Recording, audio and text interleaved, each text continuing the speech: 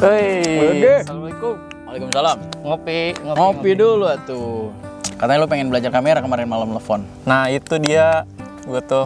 pengen Apa belajar. apa apa yang pengen dipelajarin nih? Kan kemarin gua udah kasih video tuh di YouTube gua Ya. tuh, kamera basic ada tiga. Nah sebenarnya apa nih materi apa lagi yang pengen lu pelajarin? Nah kalau sekarang nih gue lagi pengen belajar kamera movement sih. Oh kamera movement ya, gampang sih sebenarnya. Ada tujuh basicnya sebenarnya. Eh, bawa gua alat ini, kita praktek aja langsung. Tujuh basicnya. Yang pertama kan zoom nih. Hmm. Yang kedua ada dolly, dolly in, dolly out kayak begitu.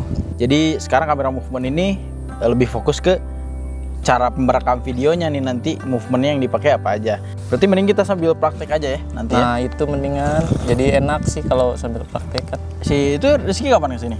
Tadi sih ngabarin bentar lagi kayaknya tah. Oke kita tungguin dia aja sambil nanti kan prakteknya biar ada modelnya. Nah, bener, Model bener. ganteng.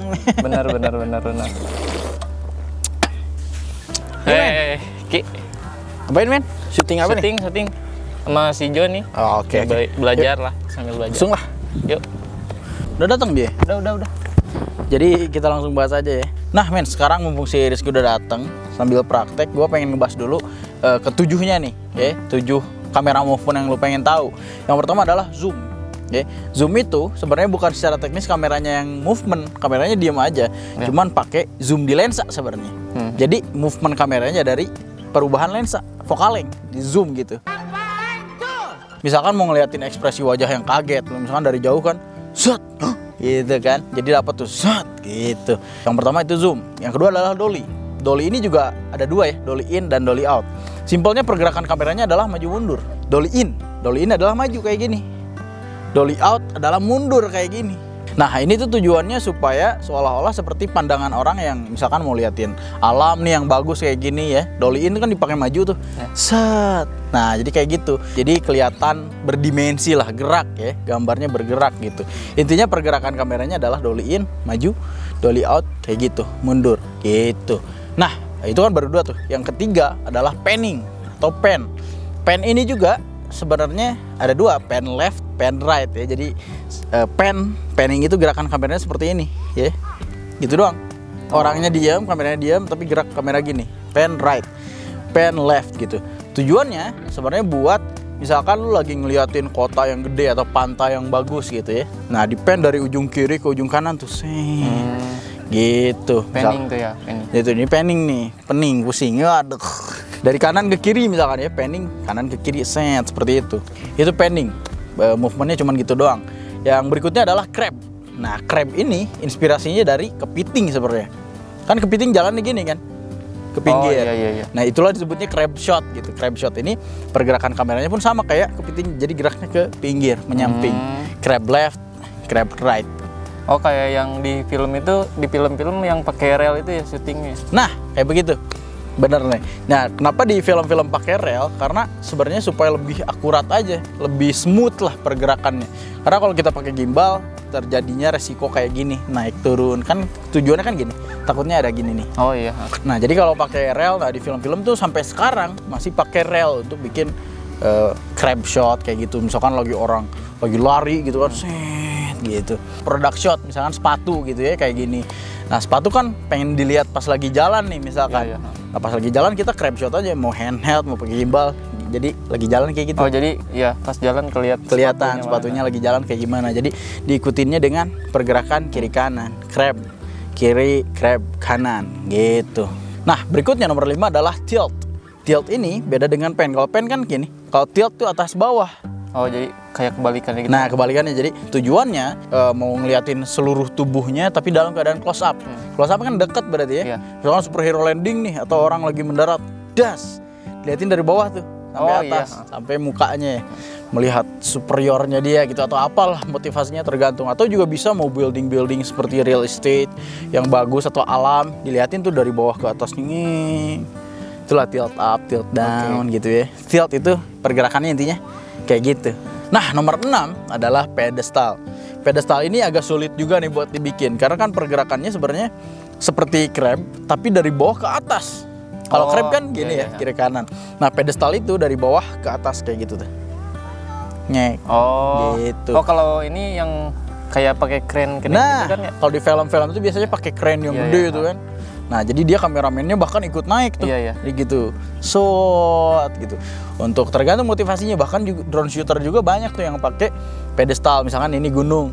Dia drone-nya di sini, terus terbang ke atas ngeliatin Hmm. alam di depannya. Nah, itu juga disebut pedestal. Ped up, ped down tergantung lah. Istilah-istilah ini sebenarnya dibikin sama orang mungkin yang awalnya lah. Namain apa nih terserah dia pedestal gitu banyak juga istilah lainnya lah itu sebenarnya cuma mempermudah belajar doang dan nomor tujuh nih terakhir adalah arc shot. Ini adalah favorit gua arc shot sebenarnya. Jadi dibuatnya gampang tapi bisa ngasilin hasil gambar yang ciamik banget. Nah arc shot ini simpelnya misalkan ini subjeknya nih atau objeknya.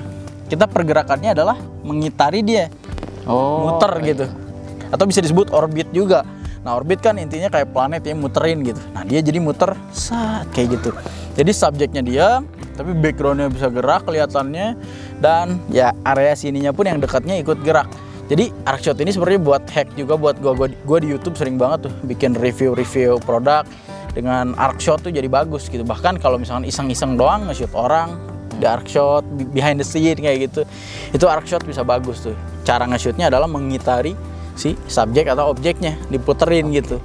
Yang penting harus stabil. Nah dari semua movement ini disatuin tuh. Jadi nomor 8 adalah follow nah follow ini pergabungan antara semua teknis yang tadi bisa kita dari dolly in digabung ke arc misalkan ini orang lagi jalan lalu di arc ke sini Oh, Nah, iya, iya, gitu. Atau orang lagi jalan, dolly in, terus di panning ke kanan ke alam yang bagusnya. Oh, iya. Gitu bisa. Banyak lah gitu digabung-gabungin disebutnya follow shot. Terserah itu bebas ya. Intinya itu doang basicnya. Gitu. Nah, men mendingan kita sambil praktek aja. Lu pakai kamera ini, nanti praktekin yang tadi, gua akan perhatiin di sini. Lah, perhatiin dari sini maksudnya gimana? nih? Nah, sebenarnya ini namanya image transmission system. Di dunia profesional filmmaking itu kita pakai yang kayak gini nih. Oh. Jadi si sutradara pakai layar kayak gini. Nah, di sini juga di kamera kita pakai transmitter kayak gini. Nanti ini gambar dikirim dari sini dari Mars 4K yang gue pakai ini ke sini. Jadi ini gambarnya dikirimnya langsung gitu, Langsung live- wireless gitu. tanpa Oh, tanpa kabel. Oh. Jadi misalnya lu syuting di sana, ini akan dikirim ke sini, Oh, gua jadi nonton di sini. Nonton di sini nih. Nah, layar lu di sini akan muncul juga di sini. Oke, oke. Gitu.